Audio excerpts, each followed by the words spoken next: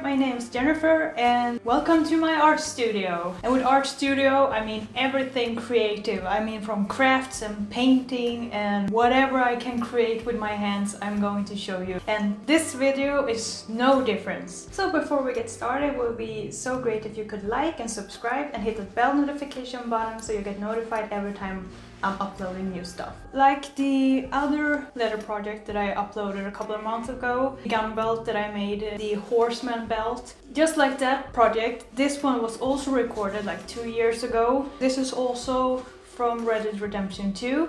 I would say that this is the iconic gun belt and holster combo. There's pretty much in all promo pictures of the game. This is the, the original, the first one, the one and only, the one that you would call the Arthur Morgan belt and holster. Even though this video isn't about how to do some specific leather tooling with western style tooling patterns on it, it's still going to show you how you can create something new and make it look old and worn and vintage and used has been through a lot. These are also techniques that are perfect if you want to make something in leather that you're going to use for cosplay or something that you want to tell a story that it looks like these items have been with this character for a long time. This is what it looks like.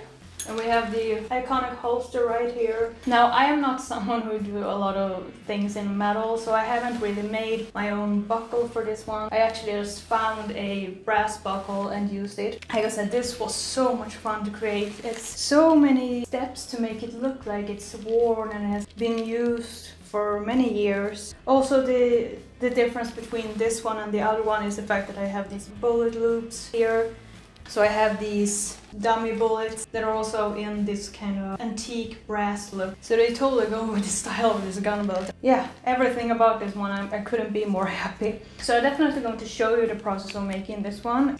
Yeah, I think I should stop talking now and just show you the process of how I made this awesome gun belt.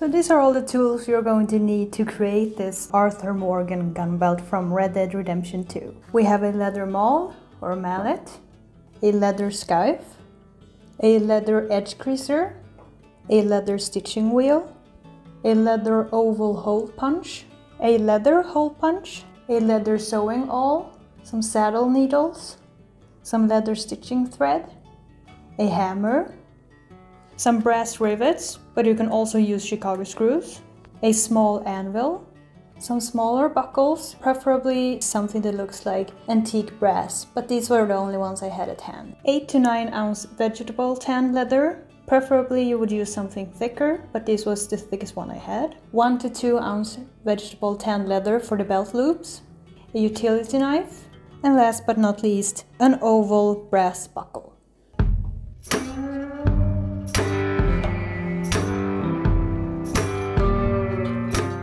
So this is the pattern that I have made of the actual gun belt and I have also a pattern for the actual holster. And if you would be interested to actually purchase one of these patterns, you can just send me an email for more information.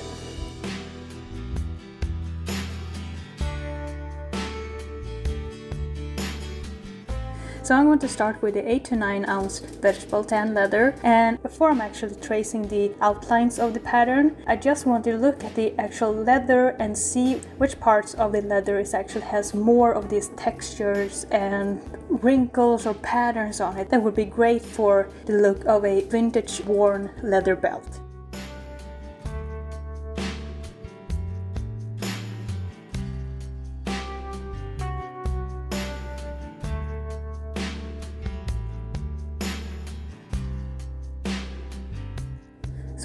Traced the outlines, I'm just going to use the utility knife and just cut off the piece that I have traced onto the leather piece.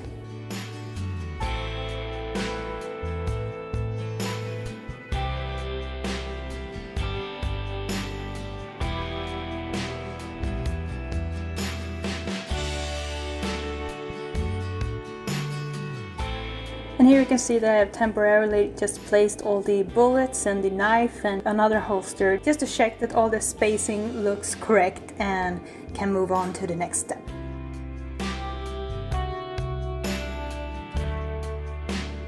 Next I'm going to use the sewing awl and the leather hole punch to create some holes in the leather for the actual belt buckle that I'm going to attach later.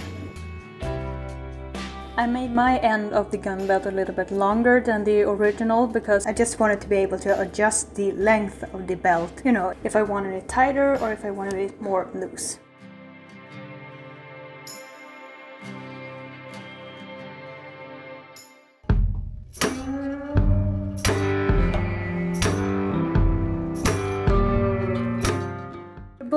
Loops or the cartridge loops, I'm going to use 1 to 2 ounce vegetable tan leather. And like I did before, I'm going to use the pattern to trace the outlines and then I'm going to cut it using the utility knife.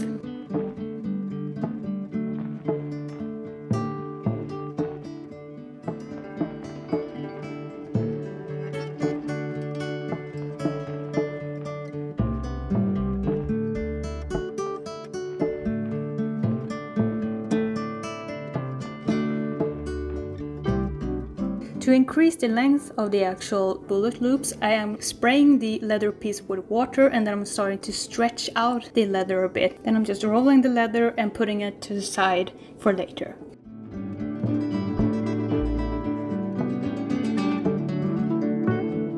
Next step is to actually cut some holes for the bullet loops. So I'm going to use the leather maul and the oval hole punch. Before I'm actually going to use the maul, I have traced out where the holes for the bullet loops are going to be. Like I did before with the holes for the end strap of the gun belt, I'm using the sewing awl to create some demarcations in the leather because I'm going to actually punch the holes on the upper side of the leather instead of the back side where the actual patterns are because it's going to create a much nicer hole for the bullet loops. After that, I'm just adding a little bit of water to the leather and I'm just first pressing the oval hole punch where the holes for the bullet loops are going to be. This is just so I know that the spacing looks right before I'm actually start to punch the actual holes.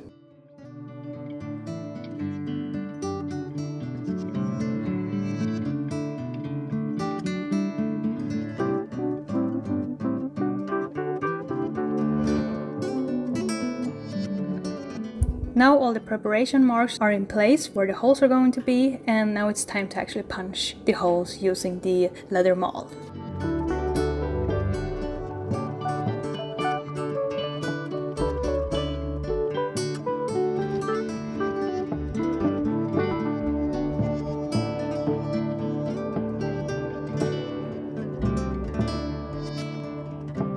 To attach these straps for the bullet loops, I'm first going from the up down into the first hole and letting a little piece of the actual strap hang free. Then I'm going to use the other end of the actual strap and pull it through the same hole that I pulled the strap through first. So it creates this loop that can get tighter and tighter. And once it gets pretty tight, I'm going to place one of the bullets into the loops and then I'm going to tighten it around the bullet so I know it's this perfect measurement that goes around the actual bullet. And I repeated this technique until all the holes on the gun belt are filled with cartridge loops. And as you can see, the actual straps for the bullet loops are actually supposed to end on the front side side of the gun belt because that's what it looks like in the game but I can't see that they are attached with any kind of stitch or anything so off camera I'm just going to use contact adhesive to attach the ends of these straps to the front side of the gun belt.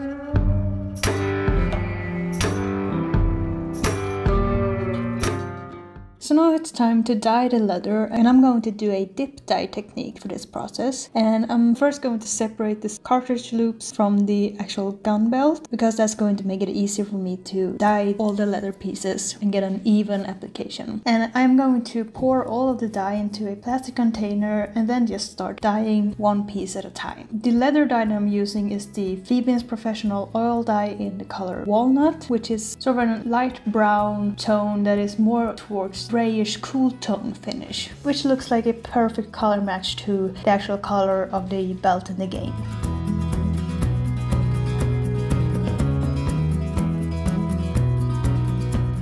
After the dip dye, the leather pieces might look very dark, but I promise you, as soon as the dye has dried, it's going to leave this light brown, cool tone finish to all the leather pieces.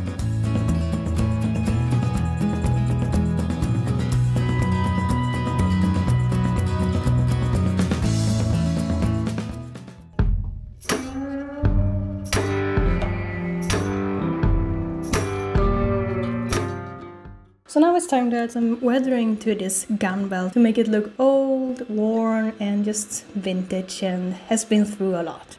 So the first thing I'm going to do is reattach the bullet loops that are now dried after I have dyed them dark brown. And what I'm going to do is first use some rough grit sandpaper to make the surface has a little bit more tooth to it. And then I'm going to use contact adhesive to glue it together. And I'm gluing the pieces together when I'm actually having the bullet in the bullet loops to make sure that they stay the right measurements all the time.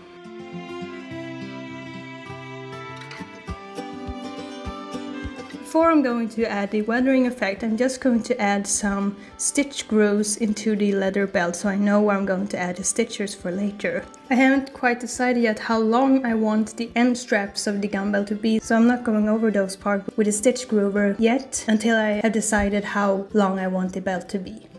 So now it's time for the weathering effect and I'm going to use a rough grit sandpaper, a magic eraser and a little bit of olive oil. Before I'm actually going to use these tools, I'm going to give this belt a worn effect. It looks like it has been moving around a lot for a long time. And this effect is going to leave a lot of wrinkles and also make the leather a lot softer. Then I'm going to use the magic eraser, which is like a white sponge that you're just supposed to damp with water. And then you just go over the surface and you can see that when I'm rubbing it on top of the surface, it actually starts to remove some of the leather dye and makes it look much brighter in some spots. So it looks like sun damage that it has been fading over the years. And then I'm going back and forth between the magic eraser and bending the leather front and back to give all of these wrinkles and worn effects. And you can also use a little bit of water if you think that it's a little bit hard to bend the leather and you want a much bigger effect.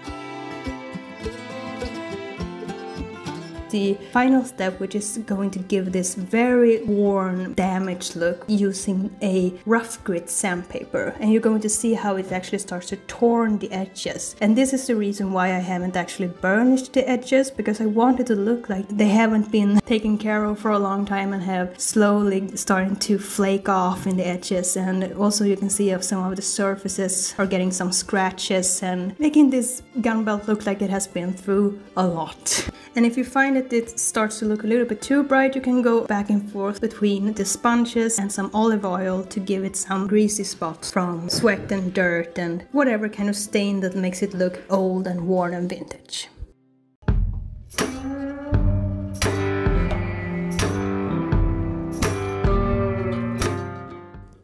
To prep the leather for stitching, I'm going to use the stitching wheel and I think this one was going to give a space of 4 millimeters between each stitch. And what I'm going to do is I'm first going to damp the leather so it's going to give a much better impression when I'm going over with the stitching wheel. So I get some marks in the leather for later when I'm going to use the stitching awl. So here you can see I'm using the stitching awl and I'm just punching some tiny holes into the marks that was left behind from the stitching wheel. And after that was done, it was just time to start sewing the leather. I'm not going to go into much detail about how I'm stitching, but I'm using the saddle stitch method here, which is using two needles and you loop them around each other while adding the stitches. After I was done stitching the leather, I was going to add a final effect to the stitches, which is using a hammer to actually flatten these stitches and makes them look much fuller and wider.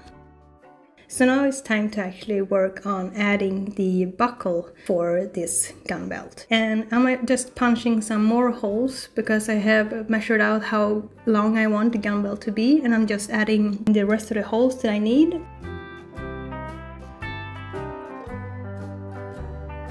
And now it's time to attach the buckle to the gun belt. And to easily bend the end piece where the buckle is going to be attached to, I'm just thinning down the edges a bit so it's going to give a much nicer finish. So this is the belt buckle I'm going to use and as you can see I'm actually going to use a brass Chicago screw for this because I want the buckle here to be removable so I can replace it with a much more accurate looking belt buckle in the future that looks like the one that is used in the game. So with the Chicago screw just screw it in place and the belt buckle is attached. But you can obviously use regular rivets if you want your belt buckle to be permanently attached to your gun belt.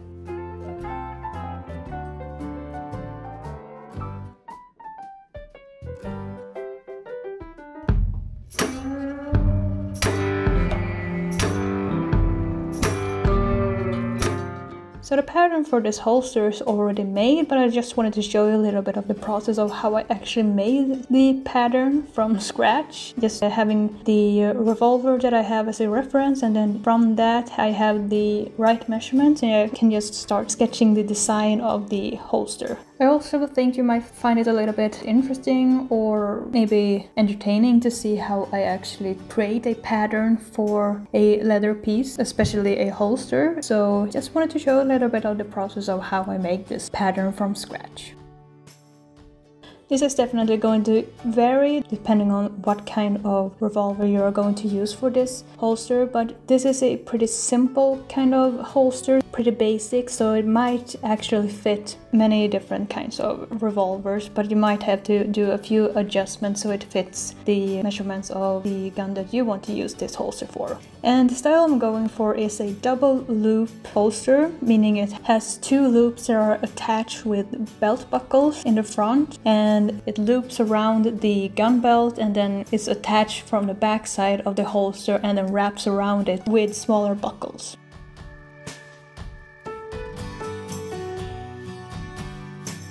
So here I have actually made a design on a piece of thicker cardboard and just checking that it actually fits around the revolver that I'm going to use. And after that I start tracing the pattern onto the actual leather.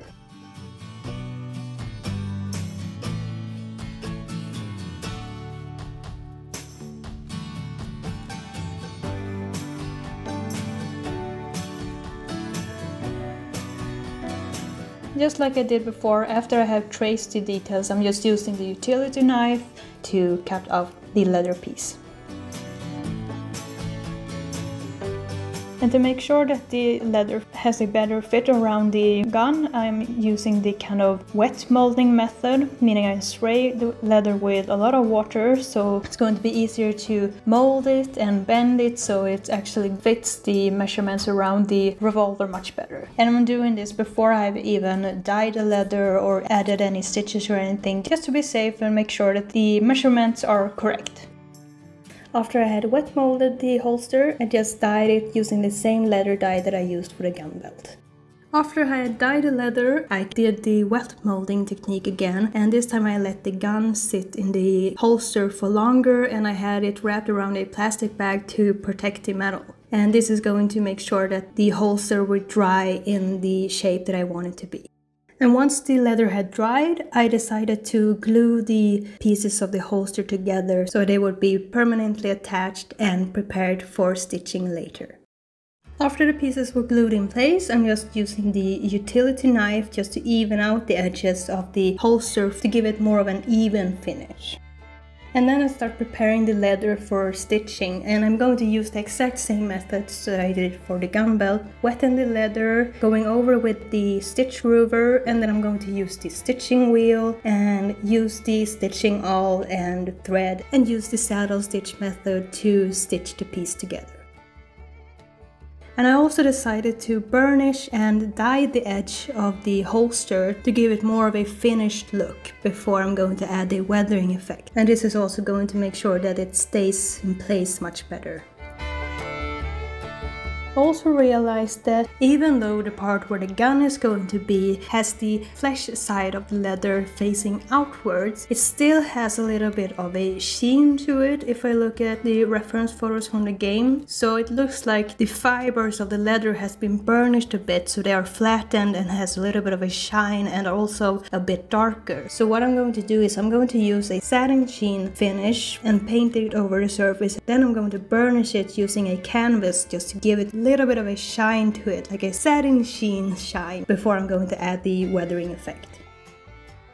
And before I'm going to attach the smaller buckles, I'm going to prepare the straps of the holster, going to attach the belt buckles by thinning down them a bit using a leather skive, which is going to make it easier to bend the leather around the smaller belt buckles. But before I'm going to attach the belt buckles, I'm going to create the weathered effect of the holster. And these are the exact same steps that I did on the gun belt, meaning I'm going to go over with some olive oil, the magic eraser, some rougher grit sandpaper to create some scratches in the leather and do that back and forth until I get the weathered effect that I'm going for.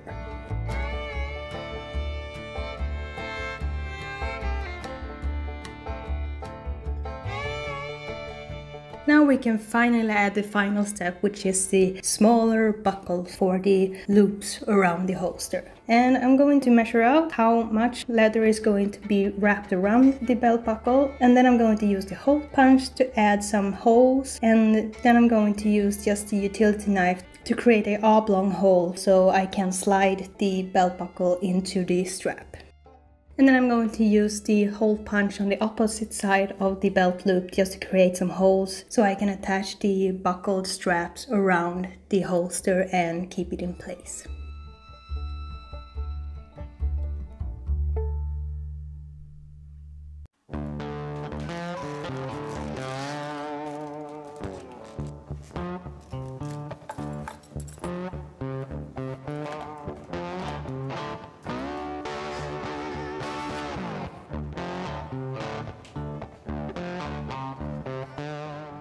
And that's the final result. That's how you create the Arthur Morgan gun belt and holster from Red Dead Redemption 2. So I hope you really enjoyed this video and if you want to see more videos like this then don't forget to like and subscribe and if you have any suggestions for other projects feel free to leave a comment. So that's it for this project and I will see you in the next one, which is coming very soon.